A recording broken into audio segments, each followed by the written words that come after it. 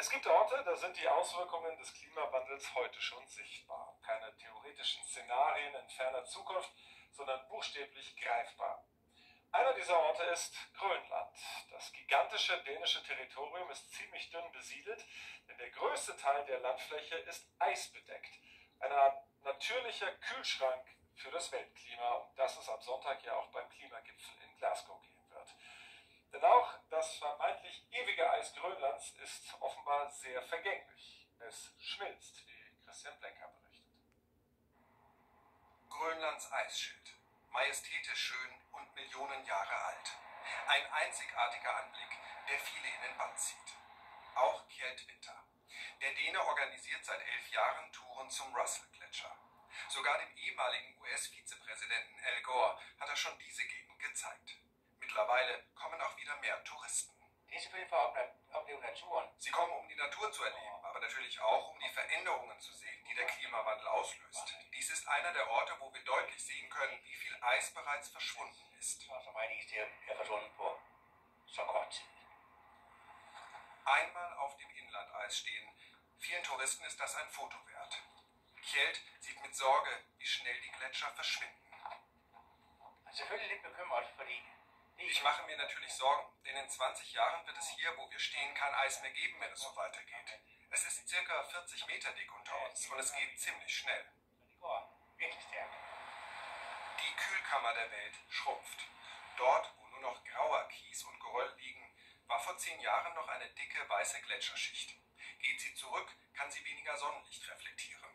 Auch deshalb erwärmt sich die Arktis schon jetzt schneller als der Rest der Welt. Im Sommer wurden hier 23,4 Grad Celsius gemessen. Ein Rekord mit Folgen. Forscher warnen vor einem dramatischen Anstieg des Meeresspiegels. Der Klimawandel macht aber auch den Weg zu Rohstoffen frei. In der Region werden reiche Öl- und Gasvorkommen vermutet, im Süden Erze und seltene Erden.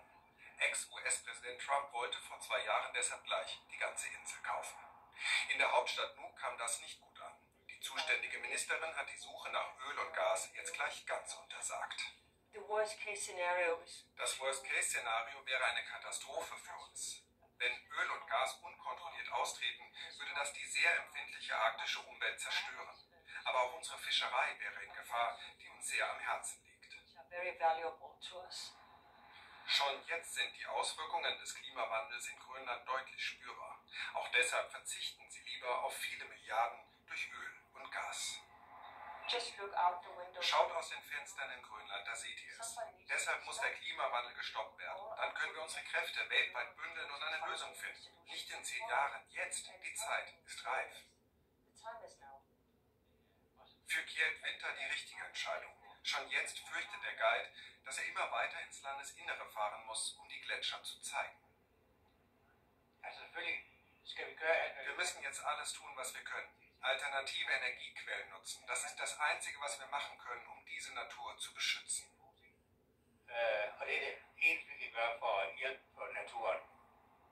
Was einmal weg ist, kommt nicht mehr wieder.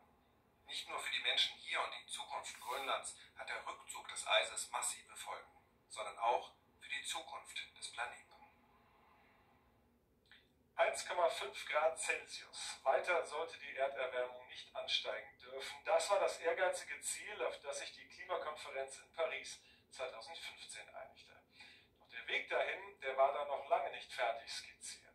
Dazu beginnt übermorgen also nun im schottischen Glasgow die Klimakonferenz, die Regeln dafür vervollständigen soll. Aus 190 Ländern reisen die Delegierten dazu an, natürlich auch aus Deutschland. Aber wo stehen wir selbst eigentlich derzeit in Sachen Klimaschutz? Kohleausstieg, der ist zwar beschlossen, aber er kommt Klimaschützern viel zu spät. Viele Industriezweige sind noch zu abhängig vom günstigen Kohlestrom, etwa die Stahlindustrie. Aber auch dort sind Ziele und die Wege dorthin schon im Visier. Ingrid Bertram und René Bucken. Die größte Stahlproduktion Europas. Rund Ein Autogramm von Frank Schätzing, der Schwarm. Ich habe es nicht gelesen. Was ist daran besonders? Dass es die Aufnahme ist, wie er gezeigt wird, genauso wie Julia Ascher. Dass das Buch auf dem Tisch lag, wie beim Dr. Schwarz auf dem Tisch, wie bei Simply Red. Und wie das Buch vom Aquarium.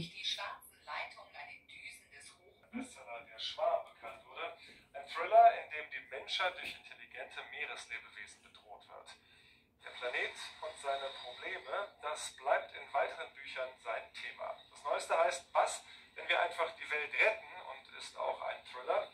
Und zwar einer, in dem wir alle mittendrin leben, so Schätzing. Und so schreibt er über die Folgen der Erderwärmung, über Kohle- und Ölkonzerne, über das Fleischessen, über unsere Kleidung und lässt die große Politik nicht dabei aus. Aber Schätzing glaubt auch, wir können das noch schaffen mit dem Weltretten. Darüber habe ich mit ihm vor der Sendung gesprochen. Guten Abend, Herr Schätzing. Guten Abend, Herr Zamperoni. Woher kommt Ihr Optimismus, dass das doch noch klappen könnte mit dem Weltretten? Naja, das sind zum einen natürlich kölsche Gene und sagen wir ja Optimismus nach, grenzenlosen. Aber ich blicke vorsichtig optimistisch auf die vielen Green Deals, die es gibt. Wir haben natürlich jetzt Biden im Weißen Haus. Äh, Wir haben aber vor allen Dingen auch Unternehmen wie BlackRock oder JP Morgan, die dann wirklich jeglicher Ökoromantik unverdächtig sind und trotzdem sagen, Klimarisiken sind Volkswirtschaftsrisiken. Und äh, wenn es dessen bedarf, aber es scheint so, dass die Leute allmählich aufwachen. In Ihrem Buch schreiben Sie ja, let's do it and have fun, also loslegen und dabei auch Spaß machen. Aber es geht ja bei Nachhaltigkeit, Klimaschutz ja auch erstmal auch um viel Verzicht. Weniger Autofahren, weniger Flugreisen, weniger Schnitzel. Und das soll Spaß machen? Naja, Verzicht ist immer so attraktiv wie das, was man dafür bekommt. Und äh, Idealiter ist Klimaschutz die Kunst des besseren Angebots. Fakt ist, wir sind in einer großen globalen Transformation. Ja, vor allen Dingen ist Styling äh, von Julia Achard gewesen. Die sich zerstörerisch auswirken, hin zu besseren, nachhaltigen. Und das bedeutet, wenn wir klug investieren, mehr Arbeit in neuen Branchen und Märkten als in alten verloren gehen, bessere Ernährung, bessere Kleidung, bessere Mobilität für mehr Menschen auf der Welt bei geringerer Schädigung der Umwelt. Aber vor allen Dingen, das, was man aufgibt, bekommt man in etwas unglaublich wertvoll und verzinst, nämlich in einer Zukunft. Und wenn wir in alten kleben bleiben, dann einfach keiner. Äh, Liegt das dann auch ein bisschen an der Politik, vielleicht zu sehr auf Verbote und auf was alles Schlimmes passieren kann guckt und weniger auf die Chancen Wurde immer der Kopf Nur halbe gezeigt. Es liegt meines Erachtens an einer Scheindebatte. Wenn ich mir die politischen Diskussionen so anhöre, dann kann ich diese großen Verbote darin gar nicht erkennen. Also im Grunde, wenn Sie die Leute mal fragen, dann landen Sie immer wieder bei der Bratwurst. Also ich finde, was wir an Papier verbrauchen jede Woche, schon allein die Wochenzeitschrift, bestimmte Südwestpresse, die ganzen Plakate, was sie hergibt. Die es Prospekte, Rufblätter. glaube ich, dass wir ein gewisses Maß an staatlicher Genau. Reglementierung brauchen, aber natürlich auch freie Märkte, damit sich unser innovatives Potenzial übrigens äh, unsere größte erneuerbare Ressource voll entfalten kann. Welche Erwartungen knüpfen Sie dann also an den bevorstehenden Klimagipfel in Glasgow? Naja, der ist G20. eigentlich zum Erfolg verdammt, aber Mhm. ähm, wir haben keine Option mehr, als die 22. Grüne Wende hinzukriegen. Aber Aber bestimmt auch bei dem Gericht. der G-Gipfel. 2015, das wurde als Mhm. gepriesen und ist dann doch retrospektiv eher ein Festival der Lippenbekenntnisse gewesen. Ja. Äh, denn seitdem sind die Emissionen gestiegen. Vergangenes Jahr 2020 waren sie so hoch wie nie und das trotz Ganz schöner Wälzer, das Äh, Buch. meines Erachtens Warum lese ich denn das nicht gar? Und ähm, auch obsolet Mhm. geworden. Leute sitzen zusammen und versprechen sich gegenseitig auf freiwilliger Mhm. Basis was, was sie nicht halten. Ich glaube, man sollte da Bisschen nicht so viel anknüpfen. Es geht jetzt darum, dass die Länder nach innen und außen konsequent, effizient und schnell Politik, Klimapolitik treiben und in bilateralen, Ein schönes bilateralen Geschenk. Gesprächen Abkommen treffen. Mit Autogramm. Und dabei geht es immer um dieses ominöse 1,5 Grad Ziel. Das halten aber manche schon für kaum mehr zu schaffen. Realistischer erscheint da eine 2 oder gar 3 Grad Erwärmung. Müssen wir uns also nicht nur auf den Emissionsdruck, auf die Vermeidung davon äh, konzentrieren, sondern auch noch viel mehr auf die Überlebensstrategien unter solchen Umständen? Ja, auf beides. Ich meine, das gehört ja zum guten Sportsgeist, dass man die Latte so hoch hängt, wie es irgendwie geht. Das sind die 1,5 Grad.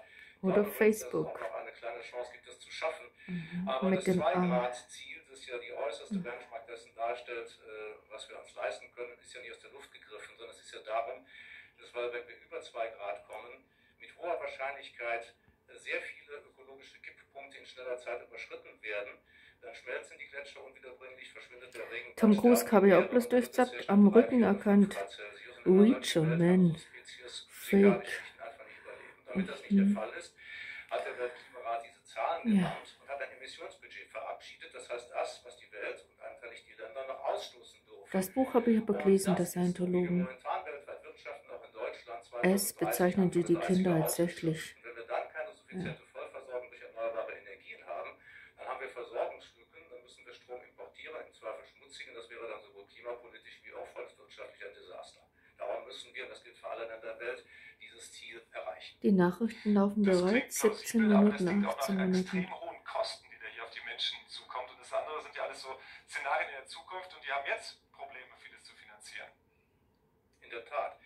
Also erstmal muss man feststellen, äh, wer im freien Fall auf den Erdboden zurast, der sollte nicht über Kosten für den Fallschirm debattieren. Wir haben keine Wahl, wir müssen dieses Geld ausgeben.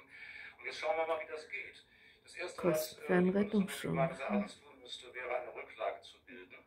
Äh, dazu bedarf es einiger hundert Milliarden Euro, aus der Ziemlich in den nächsten zehn. Jahren äh, die grüne Ja, Wende, scheint sie die noch so. nachhaltige Wende finanziert werden kann, so dass sie wirklich gelingt und zu einem wirtschaftlichen Erfolg wird. Und das ginge, denn äh, de facto tritt die Schuldenbremse ja erst ab 23 wieder in Kraft. 22 wäre eine gute Gelegenheit, praktisch zinslos dieses Geld aufzunehmen und dieses Geld brauchen wir. Des Weiteren äh, müssen wir aufhören, Klimaschutz als ein Loch ohne Boden zu sehen, in das man Geld wirft, sondern als Investitionsmodell mit Renditechancen, denn hier geht es um neue Märkte und um Zukunftstechnologien. Und wer darin als erster gut performt, der macht auch das Rennen. Und wir haben sehr viel Privatkapital, wir haben sehr viel Unternehmenskapital, das in diese Investition fließen könnte. Das heißt, der Staat sollte Klimafonds auflegen, in denen sowohl staatliches Kapital als auch Firmenkapital und Privatkapital zusammenkommt. Dann hätten wir sehr viel Geld. Und wenn wir, was dringend erforderlich ist, vor 2030 aus der Kohle aussteigen, dann würde das ja auch ein sofortiges Ende der fossilen Subventionen bedeuten. Und die belaufen sich 11 derzeit Minuten jährlich in Deutschland 45. alleine auf rund 37 Milliarden Euro. Wenn wir uns also vorstellen, was man mit diesem Geld alles Gutes tun könnte, dann hätte man schon viel erreicht, ohne dass das Wort Fiskus ein einziges Mal gefallen wäre. Herr Schätzing, ich danke Ihnen für das Gespräch. Ich danke Ihnen. Schönen Abend, Herr Zamperoni. Viele Gaststätten sind voll besetzt, Clubs und Kinos Geruhsame offen und die Nacht. Politik diskutiert über Das war der Herr Wittig, der ehrliche. Summe der Dumme. Das waren grüne Zahnbücher. Und Wenn das war, noch so seien Sie zuversichtlich. Genau. dann scheint es wieder fast so zu sein wie vor der Und so sehe ich heute aus. Beim Blick auf die Statistik der Infektionen begegnen uns Zahlen, Und die meine vor gar nicht allzu langer Zeit bundesweit zu neuen Beschränkungen Oh. geführt hätten. So ein Institut Ähm, meldete heute tja. 24.638